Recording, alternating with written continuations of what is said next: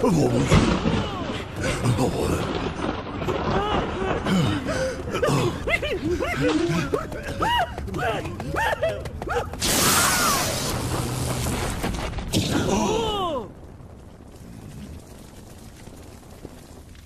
Que voyons-nous là? Le fleuve. Le fleuve.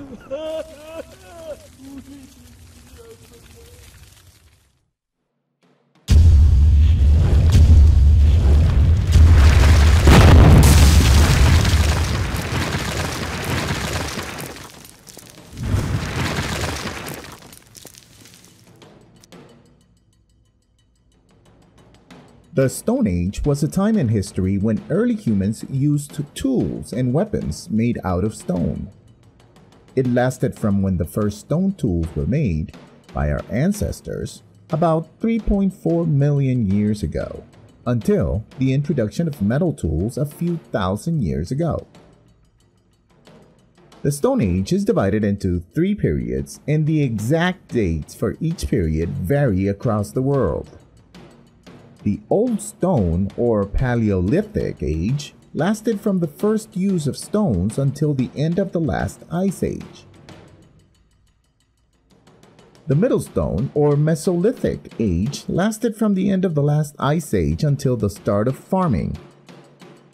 And the New Stone or Neolithic Age lasted from the start of farming until the first use of metal.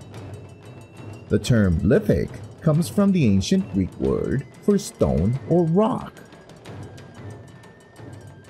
The Paleolithic period is defined as the Old Stone Age. It comes from the Greek words palaios, meaning old, and lithos, meaning rock or stone. It lasted until about 10,000 BC.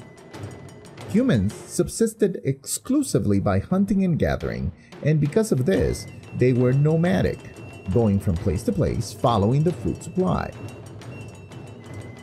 Paleolithic people provided us with a great deal of art in the form of cave art and Venus figurines. Let's take a look at some examples. This is a drawing of a horse found in France and dated to be about 17,000 years old. Animals were the primary subject of cave art. Let's move on now to Venus of Willendorf, found in Willendorf, Austria. This was somebody's idea of art about 27,000 years ago. The name Venus comes from the Roman god of love and beauty. Not to worry, you have a strong point if you're doubting the beauty side of this picture. Our best guess is that our ancestors were attempting to represent the beauty of childbirth and wanting children.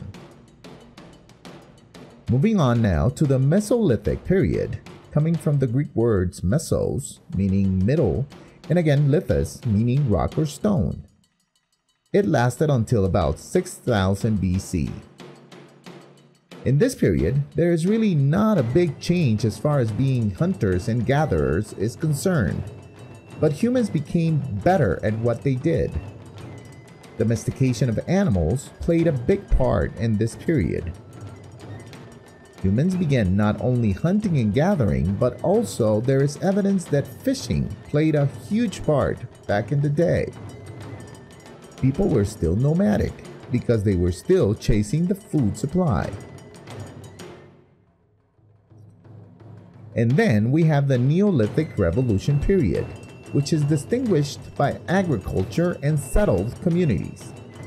The term Neolithic comes from the ancient Greek word neo, meaning new.